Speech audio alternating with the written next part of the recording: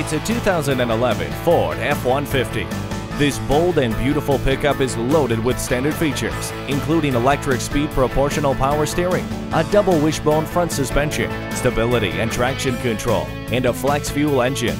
The cabin and controls of the ever-popular F-150 have the feel and precision of a truck costing thousands more. You've got to drive it to believe it.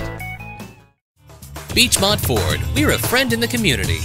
Stop in today. We're easy to find off I 275 at exit 65A Beechmont Avenue.